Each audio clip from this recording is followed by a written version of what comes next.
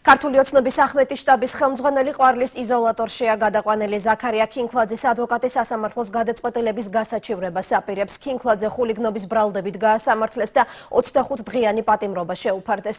დაკავებულის ადვოკატი ამბობს, რომ სასამართლო პროცესს მოწმეების არესტრებოდნენ მისი დაცვის ქვეშ მყოფთან შეხვედრის უფლება კი 4 საათიანი ლოდინის შემდეგ მისცეს. შეგახსენებთ, რომ ზაქარია ქინქლაძე გუშინ შუადღისას აიყვანეს.